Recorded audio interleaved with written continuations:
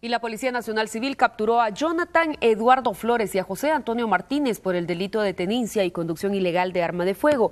A ellos se les decomisaron dos armas cortas de 9 milímetros y una escopeta, además de municiones.